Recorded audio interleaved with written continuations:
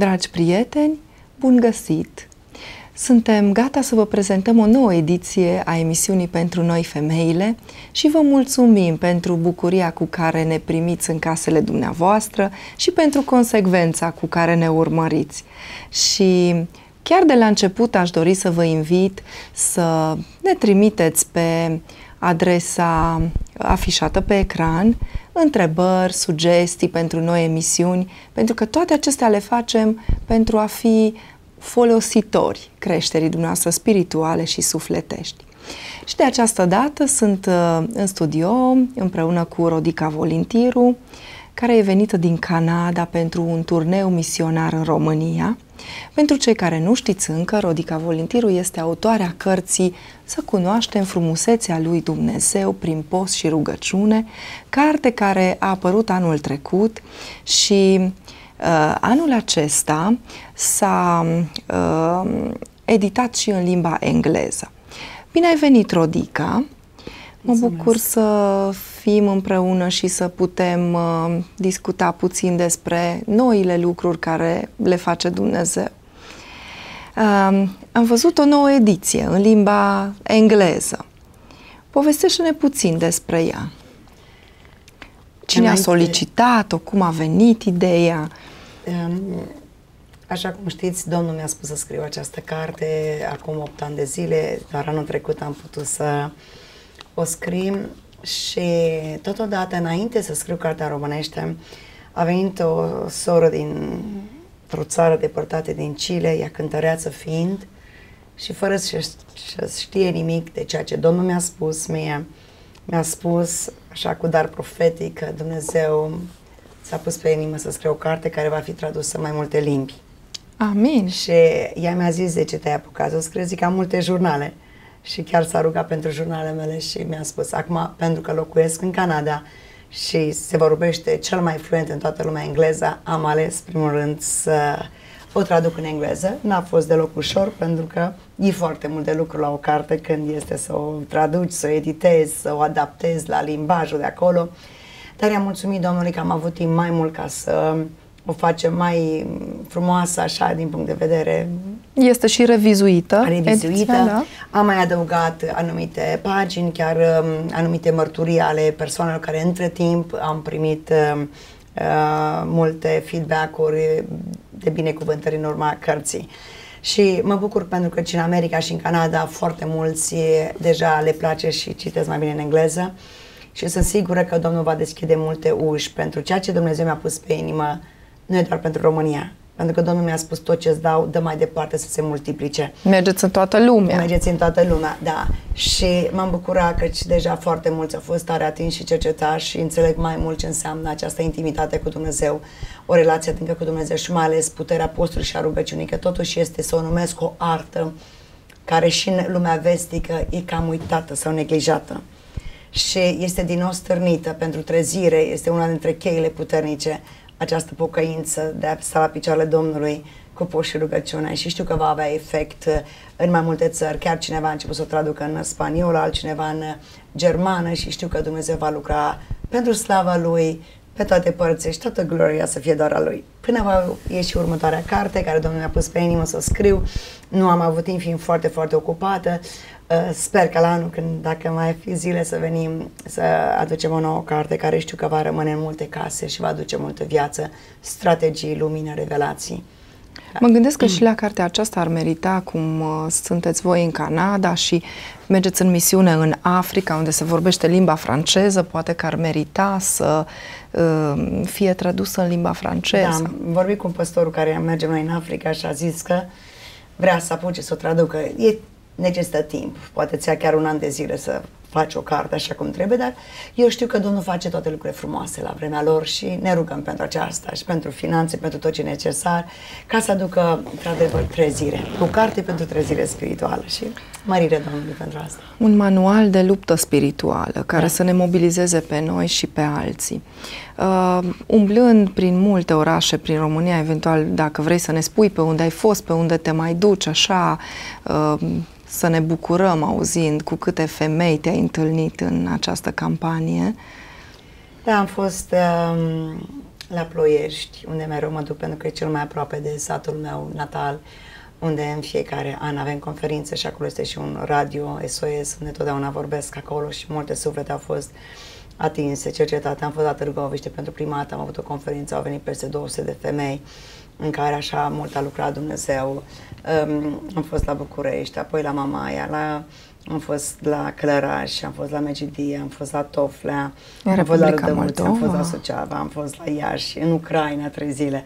Acum aici, la Târgu Mureș, voi fi la Cluj, apoi în mai multe localități de lângă Timișoara, chiar în Timișoara, în câteva um, biserici, voi fi în fiecare seară la Oradea, la Satul Mare, în mai multe părți din România. M-aș bucura să mă duc în pre- pretutindeni, dar uh, totuși timpul e limitat și nu putem merge chiar peste tot, dar am văzut așa o frumusețe a lucrării lui Dumnezeu, cum femeile sunt dornice, sunt atinse, unele sunt parcă la primul treaptă.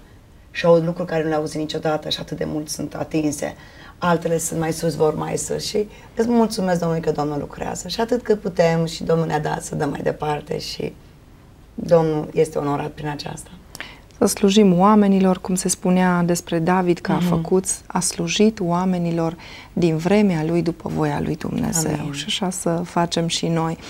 Uh, și tu faci foarte bine lucrul ăsta. Aș vrea să afișăm uh, pe ecran numărul de telefon al Sorinei, care se ocupă de distribuția cărților și uh, toți cei care doresc să primească atât ediția în limba română cât și în limba engleză, da, Engleză putem și noi... mult acum că duc în Anglia, dar poate în timp În timp, multe, da. da, putem suna la acest număr de telefon pentru a uh, comanda cărțile deci, respective. Deci, în e-mailul meu, rodaforjesus, uh, yahoo.ca de la Canada sau Sorina 0748 323032.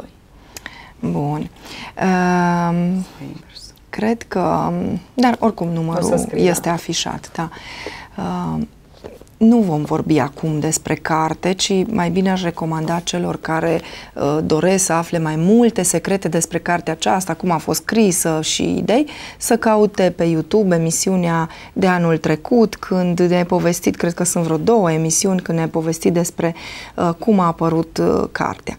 Aș vrea mai degrabă să ne împărtășești mai departe uh, din, uh, din inima ta și știu că peste tot te întâlnești întâlnești cu multe femei și multe îți solicită să te rogi pentru ele și multe au poveri și unele chiar boli fizice. Um, sunt uh, medici care uh, când îi întreb de ce a apărut boala cu tare și cu tare, medicina în general spune din cauza stresului. Nu știu dacă tu ești de acord cu această afirmație și dacă în cazurile uh, în care te-ai implicat de boli, a identificat uh, aceast, aceste stresuri care au condus la, la boli? Uh, după mine, stresul, eu cred că este o acumulare de gânduri negative. Deci începem să gândim rău, negativ, uitându-ne la circumstanțele, la evenimentele cu care ne confruntăm că este în țara noastră probleme, că e secetă, că e boală, că e probleme în familie, că e durere, că e divorț, că este lipsă financiară, diferite cauze. Aceste cauze, când privim la ele, automat noi începem să gândim negativ. Gândirea negativă, deci este rea, nu are speranță. Deci ne gândim dacă moare, dacă mă îmbolnăvesc, dacă ceva se întâmplă, dacă nu mai vine acasă. Deci este un dacă negativ, nu există speranță, cum am spus poate altă dată, creierul nostru emană toxine, niște inflamații, care provoacă acest stres și provoacă boli în trup. Cele mai multe cauze sunt bolți sunt din cauza stresului. Chiar medicii, medicii au constatat, le dau medicamente de depresie, de stres, dar, de fapt, nu asta e rădăcina. Doar îi ameliorează pe moment sau poate să doarmă cu medicamente, dar problema lor, cum am spus, poate să fie neiertarea, poate să fie o nemulțumire, poate să fie frica, este una din mari dușmanei noștri, frica de moarte, frica de întuneric, frica de cădere, frica că dacă se întâmplă ceva.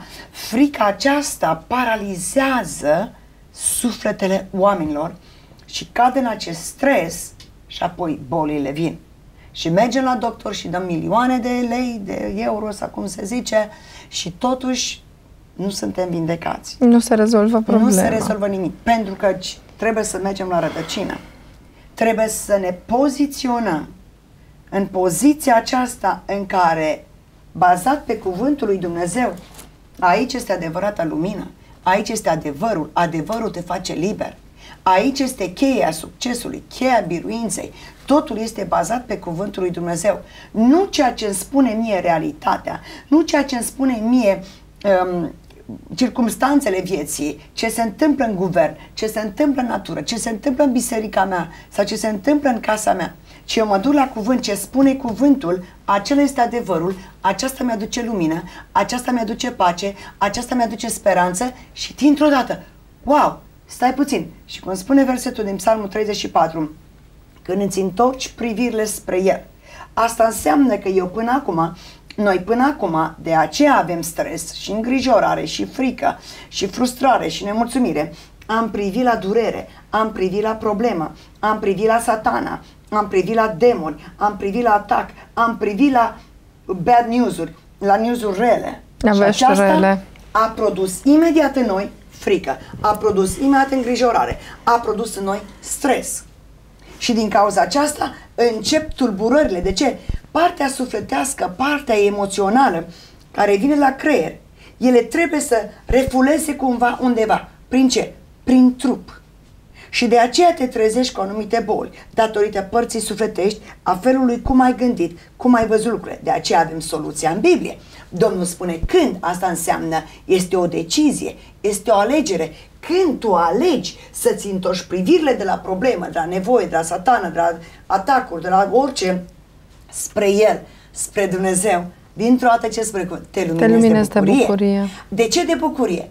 Bucuria că tata meu veghează, tata meu mă iubește, tata meu va interveni, tatăl meu din cerul e credincios, Dumnezeu are toate resursele din lume să mă ajute. Dar vezi, ca să într-adevăr să te bucuri, e o rupere, este o mergere prin credință, este o rupere de a merge pe ape ca și Petru, de a nu mai fi blocat în circumstanțe și în ceea ce vede. Aici începem să primim versetul care spune să nu mergem prin vedere, ci prin credință. Aici intervine studiul biblic, meditarea zi și noapte. Cine-i Dumnezeul meu? Ce promite Dumnezeu? Care sunt versetele cu care eu trebuie să mă lupt? Cum să iau sabia? ca să scot stresul, să scot îngrijorarea, să scot frica, să scot toate aceste atacuri ale vrășmașului care eu le-am deschis ușa, care eu am ales să gândesc la ele, eu am ales să stărui în ele. De ce? N-am știut, n-am putut și nu am ales să mă duc la viață, la adevăr, la soluții care este în Cuvântul lui Dumnezeu. Ca și creștini, pentru noi suntem, trebuie să stăm puțin mai mult într-un loc, să stai puțin. Ce las eu să intre în mintea mea? Trebuie să avem o ușă, trebuie să avem un filtru prin care să nu mai îngăduim gândurilor negative, vorbele negative, stărilor acestea emoționale care sunt fără speranță, sunt doar de la diavolul. Tu poate spui acum, da, asta e realitatea, mă doare, asta e realitate, e divorț, asta e realitate, copilul a rotorazda și tu vii cu realitate. Zic, da, este adevărat, realitatea doare realitate strigătoare la cer.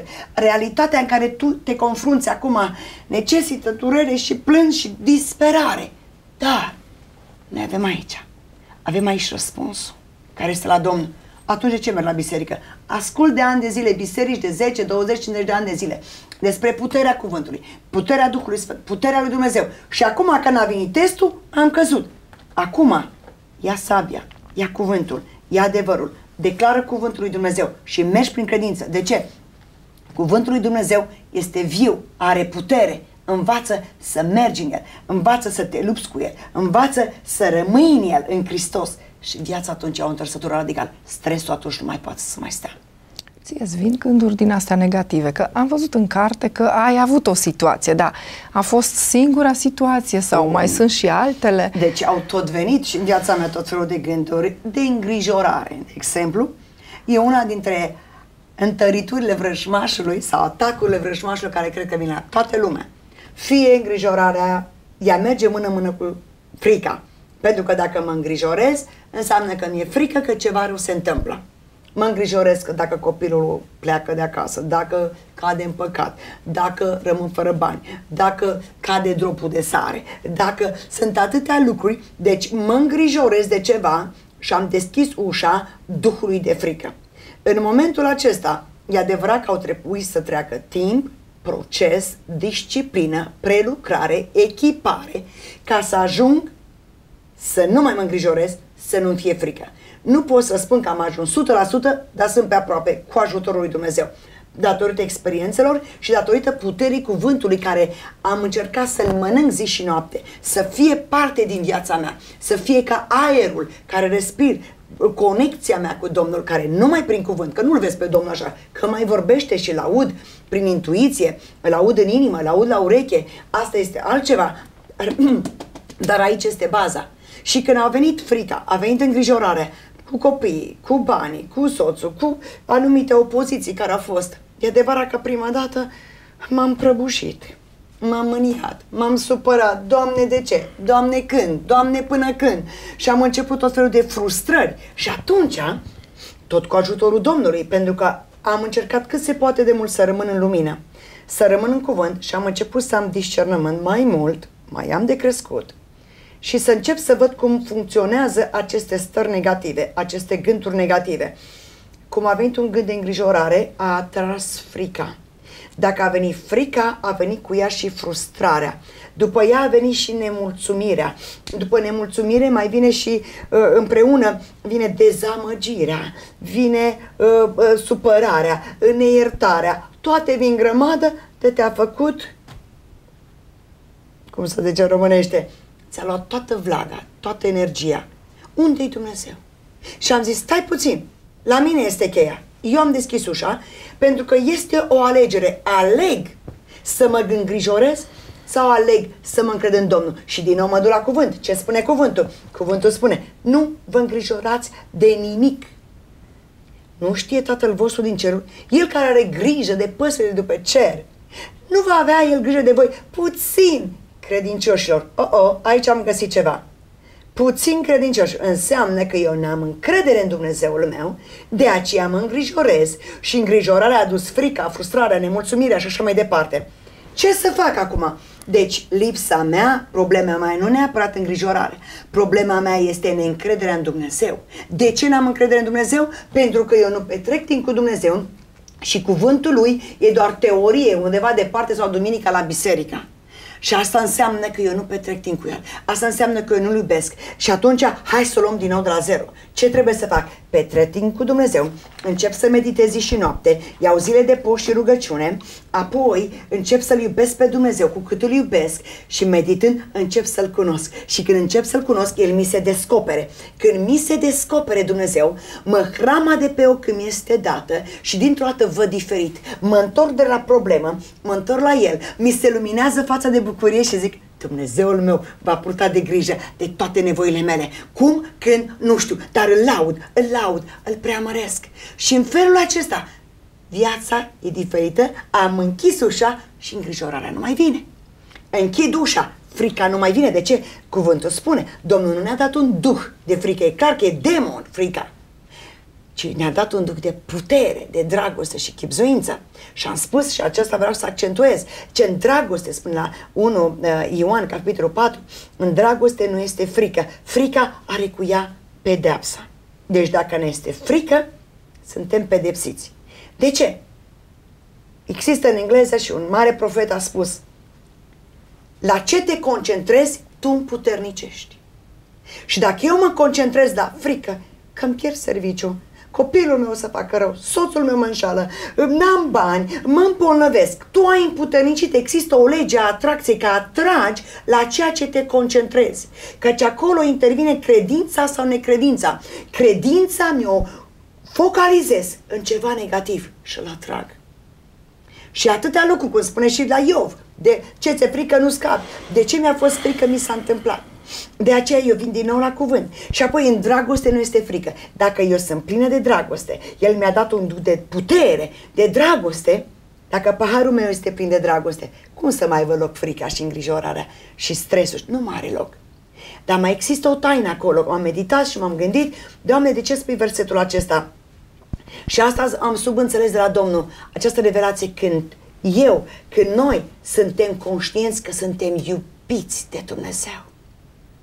În momentul acela cade, dispare automat și îndoiala și necredința și îngrijorarea și frica. De ce? Păi dacă sunt iubită de Dumnezeu, care e creatorul cerului și el e tăticul meu, de ce să-mi fie frică? Nu spune el, nu te teme că eu sunt cu tine. De ce să mă îngrijorez? Nu spune el, nu te îngrijora de nimic pentru că eu voi purta de grijă. De ce să îmi fie frică? Am spus despre aceasta. Deci atâtea lucruri. Venim. De ce zici că nu pot? Dacă se dă... Nu. Eu pot tot un Hristos care mă tărește. Vin cu cuvântul, cu roada Duhului Sfânt și barez și mă lupt în același timp și rămân în pace și în odihnă. Um, sunt situații care le prezintă chiar și uh, Biblia. De exemplu, din viața Sarei, care toată viața ei s-a frământat cum să facă să aibă moștenitori și a găsit până la urmă o soluție care mai mult i-a complicat viața atât ei cât și urmașilor. Uh, cum putem uh, să departajăm soluțiile omenești, izvodirile minții noastre de soluțiile divine cu privire la problema noastră? Da, avem în cuvânt la 2 Corinteni, capitolul 10, versetul 4 și 5, căci armele cu care ne luptăm noi sunt puternice, întărite de Dumnezeu, surpă întăriturile. Și cu alte cuvinte, noi, noi dărâmăm izvodirile minții care se ridică mai presus decât Dumnezeu și orice gând îl facem rob ascultării de Hristos. Ce am subînțeles eu de aici mai mult este în această luptă cu care fiecare ne confruntăm. Nu este de natură omenească. Nu te lupți nici cu mânia, nici cu răutatea, nici cu banii, nici cu numele, nici cu renumele, nici cu școala. Nu ne luptăm cu armele omenești care ni se par nouă, ci ne luptăm cu armele luminii, care e pacea, care este adevărul, care este bunătatea, roada Duhului Sfânt, sângele Domnului, numele Domnului, cuvântul Domnului, știm lucrul acesta cu post și rugăciune. Acum, acel verset, am stat și m-am gândit la el. Orice înălțime care se ridică mai presus decât Dumnezeu. Sunt multe explicații. Dar eu m-am concentrat la una. Dacă eu mă îngrijorez, înseamnă că ceea ce gând s-a ridicat mai presus decât Dumnezeu. Cu alte cuvinte, am tot dreptul să mă îngrijorez că problema mea e mai mare decât Dumnezeu și Dumnezeu nu poate să-mi răspundă. Dacă eu îmi este frică de ziua de mâine, mi-e frică de cădere, mi-e frică de oameni, atunci frica aceasta atât de mult m-a posedat, m-a amețit, m-a înfășurat, încât s-a ridicat mai presus decât Dumnezeu care spune, eu voi purta de grijă, nu te teme de nimic, eu sunt cu tine, chiar dacă treci prin valea umbrei morții, eu sunt cu tine, dacă treci prin apă și prin foc. Deci, automat, diavolul, în, în șiretelnicul lui, atât de mult ne atrage pentru că nu avem lumina și nu avem adevărul și nu avem cuvântul în noi ca o rădăcină, ca o sabie, să aibă viață noi, vine cu tot felul de gânduri și strategii care se ridică mai presus decât Dumnezeu. Și automat, unde-i Dumnezeul meu? Problema mea a devenit ca un gigant. Problema noastră a venit atât de puternice. Și Dumnezeu undeva departe, n-are El timp de mine. Eu știu dacă e voia Lui, eu știu dacă vrea El să mă ajute, minciuni. Satana, nu uităm, e tatăl minciunii. Și el vine cu minciuni în mintea noastră. Ne pune tot felul de gânduri negative. Cum am spus, tot ce e negativ nu e de la Dumnezeu. Tot ce e negativ nu are speranță. Tot ce, tot ce e negativ este lipsa bucuriei, este lipsa păcii, lipsa speranței, lipsa dragostei. Și atunci ele se înalță mai presus decât Dumnezeu și Dumnezeu l-a dat jos unde e Dumnezeu? Păi eu știu, Dumnezeu știe dacă mă ascultă la rugăciuni. Și atunci ce spune Domnul? Orice gând din acesta care se ridică mai presus, să-l face rob ascultării de Hristos. Am meditat la el și am zis, oh, oh, stai puțin, de data asta Domnul ne vrea să, să fim polițiști care prindem hoții. Satana este un hoț, spune cuvântul, da? Vine cu minciunile lui, vine cu înșelătoria lui și ne departe de Dumnezeu, de cuvântul lui, să ne concentrăm la lume, la probleme, la atacuri și în momentul acela, noi dacă avem lumină și discernământ, stai puțin că aici este un hoț, mi-a băgat o minciună și eu acum arestez acea minciună și l arunc la pușcărie. Rob ascultării de Hristos să faci orice gând care se ridică mai presus decât Dumnezeu. Și în momentul acesta am prins hoțul, am luat și l-am legat Și acum, oh, eu văd clar. De ce? Nu mai mă concentrez la cele negative, mă concentrez la ce spune cuvântul. Și bazat pe Roman, capitolul 12, versetul 1 și 2, ne spune clar acolo să aducem trupurile ca o jertfă vie și să începem să reînnoim mintea, să vă prefaceți. În românește cuvântul prefăcut mai înseamnă și prefăcut. Cuvântul original înseamnă metanoia, Să transformarea minții. Cum ne transformăm noi mintea și gândul? Prin cuvântul lui Dumnezeu. Atacul numărul unu al satanei la nivelul minții. Dacă noi învățăm să ne controlăm mintea și gândurile, apoi simțirile, cuvintele și acțiunile, viața noastră e total diferită. Dar pentru aceasta trebuie să cunoști, să știi, discernământ, practică, eh, disciplină, um, maturitate, învățătură și să fii foarte atent de acum înainte. Mm-mm, stai puțin, aici avem de-a face cu un hoț, aici avem de-a face cu un înșelător, aici avem de-a face cu mincinos. Cine? Diavolul. E realitate. Nu o negi, nu mințim.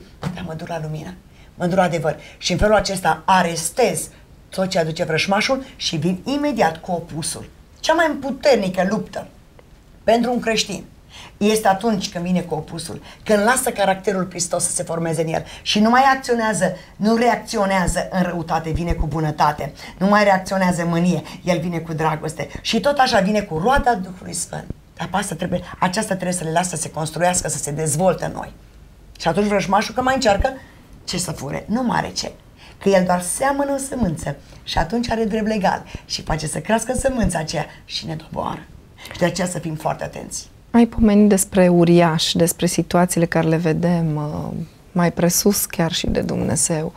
Uh, te-am auzit vorbind despre Iosua și Caleb și cred că ai face bine dacă ai relua imaginea aceea cu uh, iscoadele.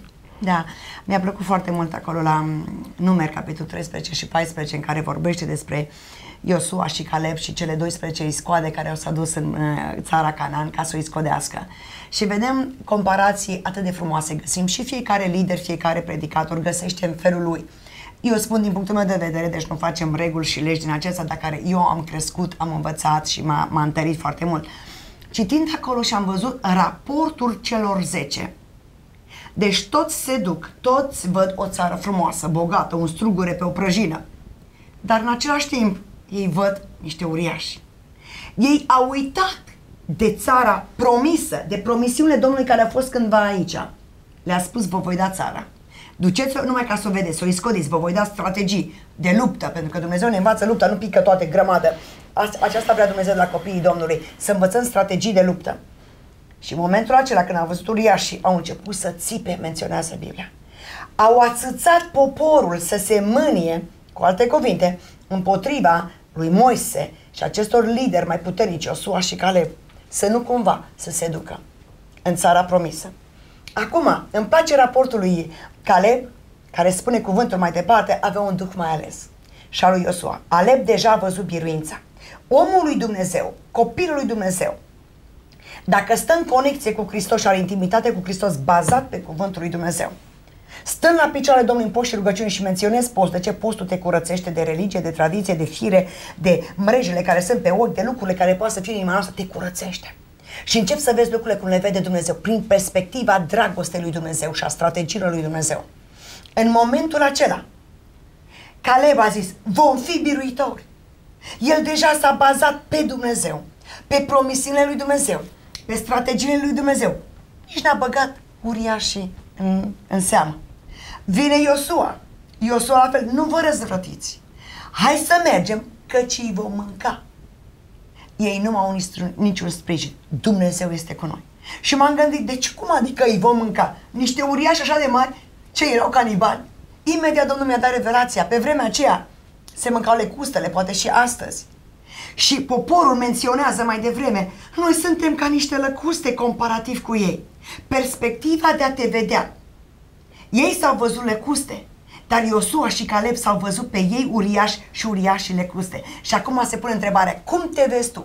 Cât de mare vezi tu problema ta? Comparativ cu situația în care ești, cu tine și cu Dumnezeu. Și cei mai mulți, vedem raportul, a fost 10 negativi, 2 pozitivi.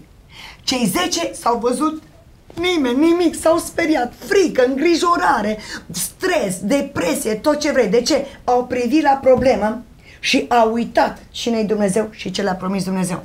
Ioșua și Caleb schimbă perspectiva gândirilor. Nu privesc la problemă, nu privesc la uriaș, ci privesc la Dumnezeu. Noi, cu ajutorul lui Dumnezeu, îi vom mânca, vom birui. Dumnezeu este cu noi.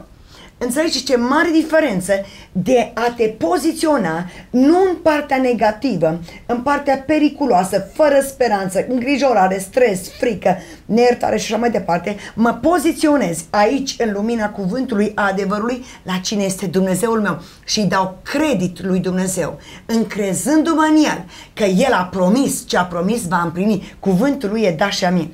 Și acum perspectiva mea, orice povară, orice durere cu care tu acum te confrunți nu este un uriaș, este o lăcustă. Cu ajutorul Domnului eu voi birui. Cum gândești, așa ești.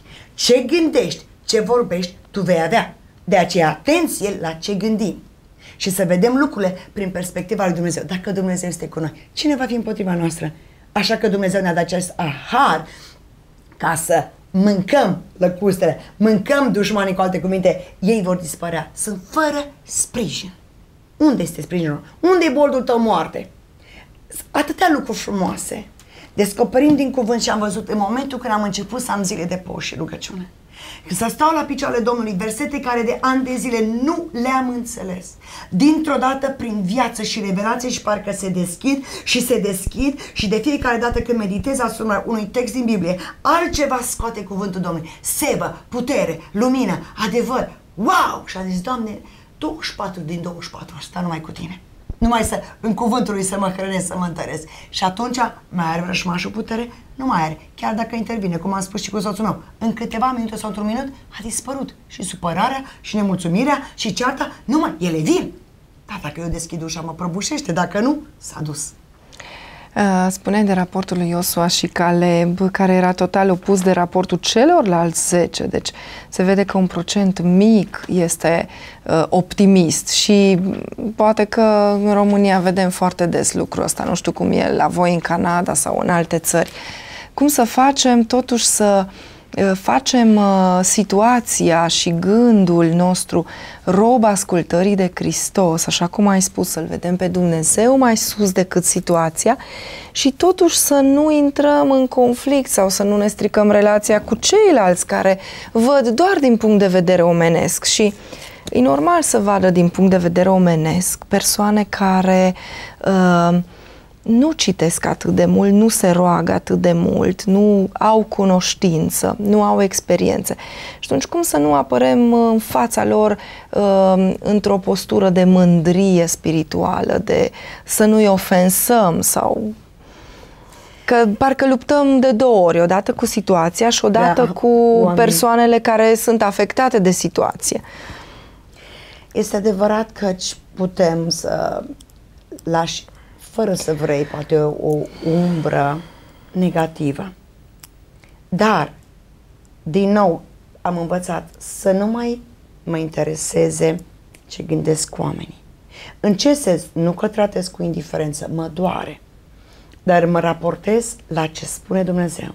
Și știu sigur în momentul când cineva este ofensat, încerc să mă smeresc mai mult, să-l iubesc mai mult, să încerc să-i explic situația, să încerc să-l învăț, să-l sfătuiesc și să-i spun lipsa sau ușa sau trauma prin care el este și prin filtru prin care el vede persoana mea sau alte persoane și câtă nevoie are de sfat, de învățătură, de training, de echipare ca să fie biruitor. Zic, uite-te la roadele tale, uite-te și la roadele mele.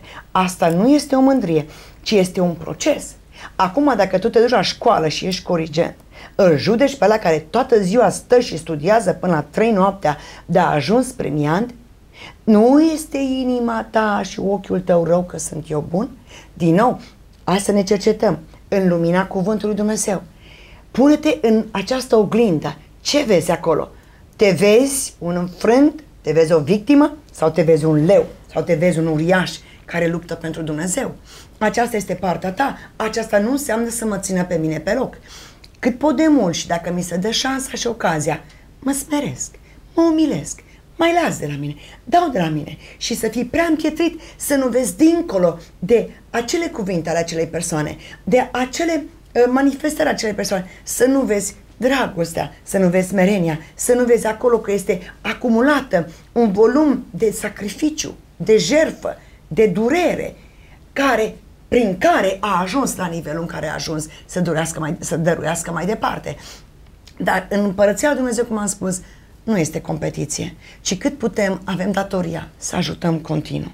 Dar dacă n-ai cu cine, nu are rost să-ți pierzi vremea cu cei care vezi că totdeauna sunt critici, totdeauna nemulțumitori, totdeauna frustrați.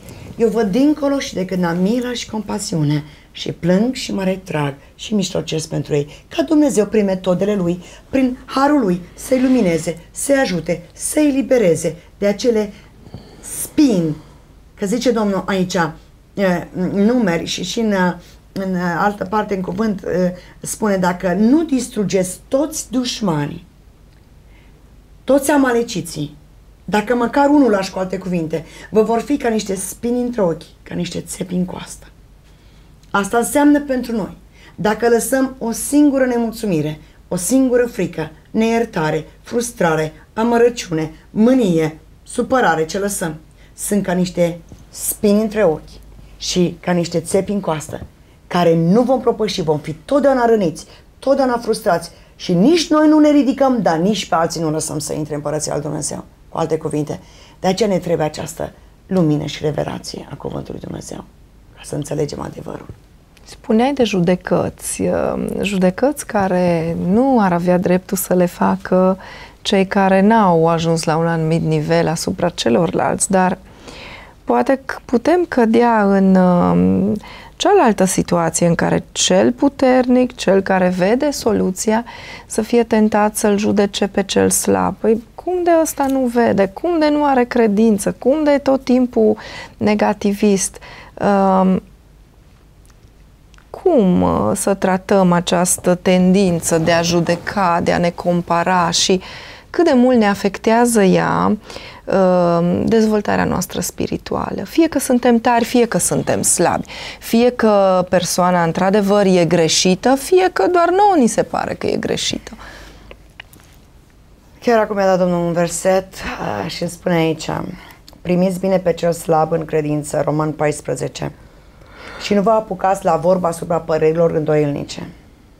În sfârșit, apoi la versetul 4 spune, cine ești tu care judești pe robul altuia? Dacă stă în picioare sau cade, este treaba stăpânului. Totuși va sta în picioare că Dumnezeu are putere să-l întărească pentru ca să stea. În sfârșit, apoi spune noi care suntem mai slabi, să nu ne mai judecăm unii pe alții, ci mai bine judecați să nu faceți nimic care să fie pentru fratele vostru piatră de potinire sau un prilej de păcătuire. Deci ce vreau să spun? Eu am mărturisit de atâtea ori mărturile mele și am scris și în carte. După ani și ani de zile de credință, de mers la biserică, în momentul când m-a umplut Domnul de acel foc al dragoste, acel botez îl pot numi al dragostei lui Dumnezeu, al iubirii lui, nu am mai putut să judec. Până atunci judecam prin prisma și prin filtrul imaturității mele, a rănilor mele, a trecutului meu, a religiei mele, a culturii mele, a familiei mele. Asta e valabil pentru toate una, pentru toată lumea. În momentul când a venit purificarea, acel foc și sunt în creștere, pentru că nu s-a atunci gata, am, am, am devenit de, desăvârșită, dar acel foc atât de mult m-a umplut de iubire pentru Dumnezeu. Și cumva Dumnezeu mi-a dat din El, prin Duhul Sfânt în viața mea, să pot să iubesc pe toți bolnavi, pușcăriași, criminali, păstori, bun, răi, să nu-i judec. Și cum ai spus, văd dintr-o dată lucruri negative. E judecat, ești nedreptățit, aruncă, vorbește, te zbați cu persoana aia să crească și tot acolo ești și e tendință omenească naturală să-l judeci. Am mai spus și spun, încerc cu ajutorul Duhului Sfânt, a dragostei lui să văd dincolo de el și îi văd întăriturile, văd lanțurile, văd trauma, văd neîmplinirea, văd frica, văd neiertarea și la ce mă pot aștepta? Trecutul. La ce mă, mă pot aștepta?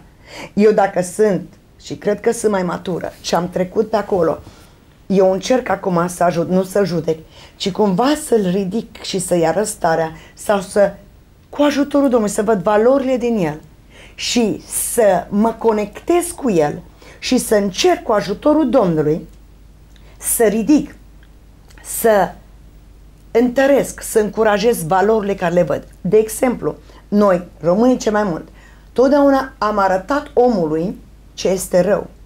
În loc să vedem cu ajutorul dragostei lui Dumnezeu, că de aceea nu avem discernământ, partea pozitivă. De exemplu, un om minte sau noi mințim și știm că este păcat și știm că e de la vrăjmaș. Ce facem? Atât de mult ne luptăm să nu mai mințim. Este greșit. De ce, poate spui? Pentru că atrage mai mult minciuna. Eu acum, dacă am revelația înțelepciune la Duhul Sfânt, mă ocup de adevăr și dezvolt adevărul ca minciuna să cadă. Adică umpli locul din viața ta exact. cu alte lucruri bune. Ia. Cu cât mă ocup de partea negativă, să nu mai mă mânii, reușesc o zi, două, am căzut. Nu!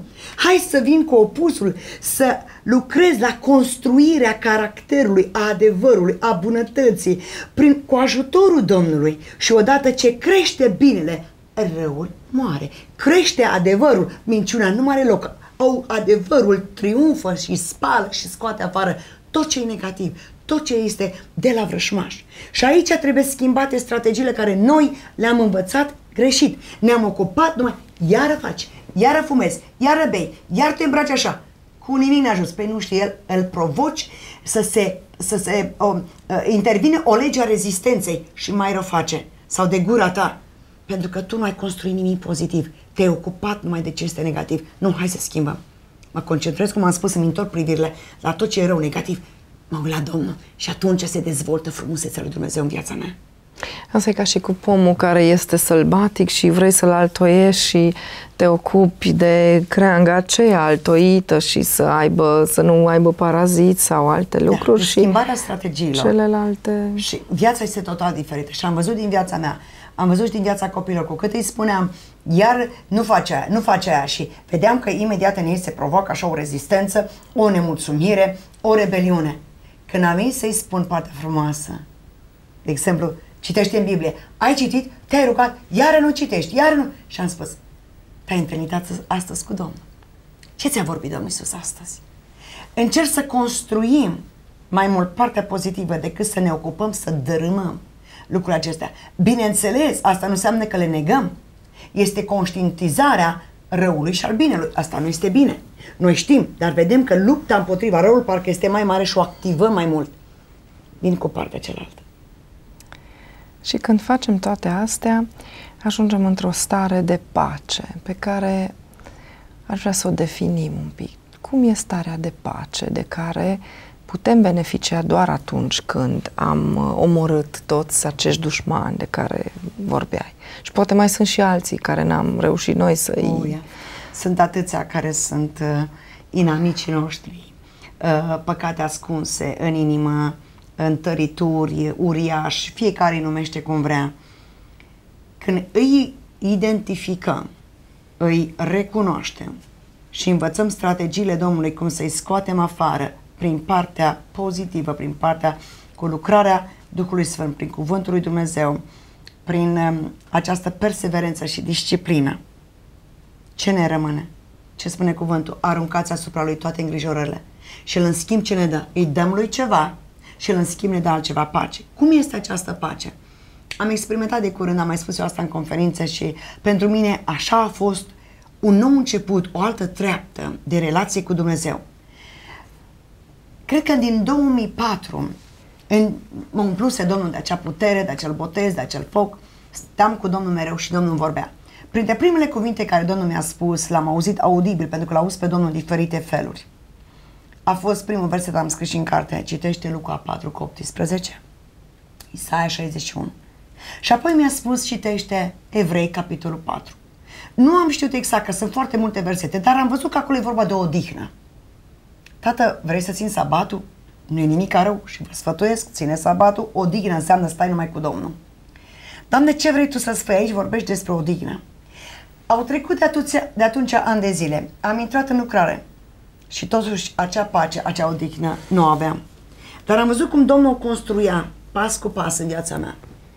Până anul acesta a fost cumva un pas mai mult și nu pot să spun că am ajuns la perfecțiune, dar mi s-a făcut mult mai clară. Un nivel mai înalt. La un nivel mai înalt. În care am înțeles cu adevărat ce înseamnă pace. Pacea înseamnă odihnă. Când Domnul Evrei spunea, intrați în odihna mea, înseamnă o pace absolută. Dar dacă citim la Exodul, cred că capitolul 33 și a 34 în care vorbește despre întâlnirea lui Moise cu Dumnezeu și chiar îl trimite la luptă, zice, eu voi merge înaintea ta, iar ție îți voi da odihnă. Adică pace că eu lucrez. Pacea aceea că eu mă lupt. Pacea aceea că eu voi putea de grijă. Dar vedeți, sunt, sunt trepte, sunt lucrări, sunt șlefuiri, sunt voi, sunt lupte până ajungi să-L cunoști pe Dumnezeu, ca să te poți încrede în El. Pacea înseamnă lipsa agitației. Pacea înseamnă, este ca în termen de armată, zice, ne păzește ce? Mintea, din nou mintea și inima de toate atacurile vrășmașului cu îndoială, cu necredință, cu tot ce este negativ, urât, urât, murdar, stricat. Pacea aceasta este această protecție divină în care te concentrezi doar la Dumnezeu. Că El știe, El poate, El vede. Acum eu știam toate lucrurile acestea. Experimentasem o parte din ele. Și înainte, poate cu de zile să începem să venim din nou în misiune, m-au prăbușit durerile și problemele altora care le primeam zilnic. Le aduc înaintea Domnului, e adevărat că nu pot să le port, dar totuși mă dureau atât de tare. Și am zis, Doamne, cine poate să se rezolve atâtea probleme? Cine poate să mângâie atâtea suflete rănite. Doamne, este atâta durere, este atâta apăsare. Plângeam și plângeam înaintea Domnului și mijloceam. Apoi a venit încă o apăsare și a venit peste mine îngrijorările. Aolo, ce ne facem? Plecăm în misiune, ce facem cu copiii, ce facem cu banii, nu avem, ne trebuie da, ne trebuie da și m-a prăbușit. În momentul acela, îl văd pe Domnul în fața mea care îmi spune, dă-mi-le mie. Le simțeam ca niște pietroaie care atârnau de mine. Și mă luptam să le dau Domnului și nu puteam. Zic, Doamne, de ce nu pot să ți le dau? Și Domnul mi-a spus, pentru că te-ai obișnuit cu ele. Fac parte din tine. Te-ai obișnuit să te tu lupți nu, tu. Da, pentru că tu nu te încrezi total în mine. Aceasta înseamnă credință, aceasta înseamnă o rupere a tot ce este mergerea prin credință, prin vedere, este o rupere ca tu să mi le dai mie și să mergi prin credință în odihnă că eu voi purta de grijă. Eu, la timpul meu, știu cum. Și în momentul acela am avut nevoie de o extra putere. A fost o luptă atât de grea, strigam înaintea Domnului, transpirasem ca să pot să fiu eliberată de aceste stări și aceste poveri și îngrijorări. Și am simțit cum Domnul mi-a desăcut aceste poveri. Și le-am dat Domnului. În momentul acela am simțit că Domnul a suflat peste mine. Primește pacea mea. De atunci m-am văzut ca într-un balon care zburam, ca un fulg. Nici o apăsare, nici o îngrijorare, nici o îndoială, nici o frustrare. Dumnezeu e în control. Dumnezeu mă iubește. Dumnezeu e credincios. Dumnezeu poate de grijă în ciuda opozițiilor sau aparentei întârzieri a răspunsului din partea Dumnezeu. Și am zis, oh, oh, stai puțin, mi-a dat Domnul altceva. Nu vreau să-L mai ofensez pe Domnul, că eu m-am îngrijorat. Îl lovesc pe Dumnezeu cu îndoiala mea. Îl rănesc pe Domnul meu cu supărarea mea, cu frica mea. Doamne, nu vreau să fii dezamăgit de mine și nu mai vreau să-l hrănesc pe cel rău. Nu mai vreau să se bucure vrășmașul de mine că m-a pus jos, că mi-e frică, că m-am îndoit, că m-am îngrijorat, că m-am tulburat, că m-a supărat. Nu! Haleluia! Vreau să rămân în pacea ta.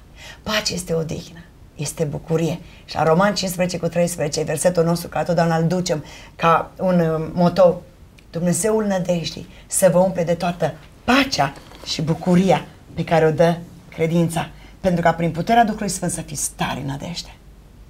Mulțumim, Rodica, și aș vrea, pentru că timpul a trecut, să rămânem cu versetul acesta ca un ultim gând pentru telespectatori și pentru noi două și Dumnezeu să ne umple de această pace care este atât de valoroasă și care nu o găsești nicăieri și de credință, cum spuneai. Și îți doresc ca Dumnezeu să te însoțească pe unde vei merge mai departe, în Africa, la Londra, în România și apoi în Canada și în alte uh, biserici pe continentul american unde locuiești tu. Și te așteptăm cu noua ta carte Te așteptăm cu noi mărturii, cu noi experiențe, pentru că la Dumnezeu niciodată nu se ajunge la capăt. Este. Întotdeauna este un alt nivel pe care să-l Așa descoperim este. și uh, mă bucur de tine și ești foarte folositoare în economia lui Dumnezeu cu nivelul pe care l-ai dobândit. Bineînțeles că te-a costat și pe tine, sacrificiul tău a contat, dar uh, Domnul să ajute să ajungi la un nivel și la altul și la altul mai sus, ca să te bucuri mai mult și ca să aduci o mireasmă și mai concentrată și mai uh, puternică a împărăției sale. Toată gloria să fie doar a Domnului. Când lumea mă caută, mă cheamă și se bucură și de-abia așteaptă să mă vadă, eu imediat vorbesc cu Domnul, zic, Tată, încă unul te iubește. Încă o soră te-a văzut pe tine. Doamne, pentru tine, slavă ție că a devenit mai puternică. Glorie ție, totul e doar pentru Domnul. Nimic nu este pentru noi. Noi suntem doar, mi răspund, rob netremici. Am făcut ce am dator pentru înaintarea părăției, pentru proslăvirea numelui lui Dumnezeu, pentru pacea și bucuria noastră, să creștem împreună. De aceea toată gloria este doar a Domnului și mă bucur pentru aceasta, dar partea mea este, Doamne, la picioarele tale, ca Maria, să mă adapt din tine, să spun că te iubesc, să mijlocesc la picioarele tale, pentru toată lumea care are nevoie. Și aceasta este împlinirea mea. Aceasta este dorința mea. Mulți zice, Domnul să te răsplătească. Răsplata mea știți care este și care o cer de la Domnul? Este sufletele să-L iubească pe Domnul. Sufletele pocăite, nepocăite, să se apropie de Dumnezeu, să-L glorifice, să rodească pentru El. Aceasta este răsplata care o doresc și care toate îi le dau totului. Amin. Coroana care mi-o va da. Eu zic, tată, toți e, fără tine să nimic. N-am nimic bun. Dacă o cunoști prodica, Doamne, e mine de mine păcătoasa. Dar dacă ai făcut ceva bun în mine și vedeți ceva bun în mine, este El. E adevărat, a fost un preț care oricare poate să-l facă și oricare poate să ajungă aici și, și mai sus. De aceea și mulțumesc pentru acest har, căci ai îngăduit Domnului să vină în locul acesta și să creștem împreună, să ne zidim împreună pentru slava Lui. Amin. Să devenim mai puternici și Domnul să ajute. Amin. Dragi prieteni, ne luăm rămas bun până la o nouă ediție a emisiunii pentru noi femeile, la care vă așteptăm și așa cum am spus la începutul acestei ediții, așteptăm pe uh, adresa de e-mail afișată pe ecran, să ne transmiteți uh, întrebări, sugestii pentru noi teme care să le abordăm la emisiunea noastră. Să fiți binecuvântați și ceea ce ne dorim este întărirea și creșterea și dezvoltarea noastră spirituală și sufletească. Că aceasta este și voia lui Dumnezeu, ca cei aleși, ca cei neprihăniți să meargă din putere în putere și să se înfățișeze în ziua hotărâtă de El înaintea Lui.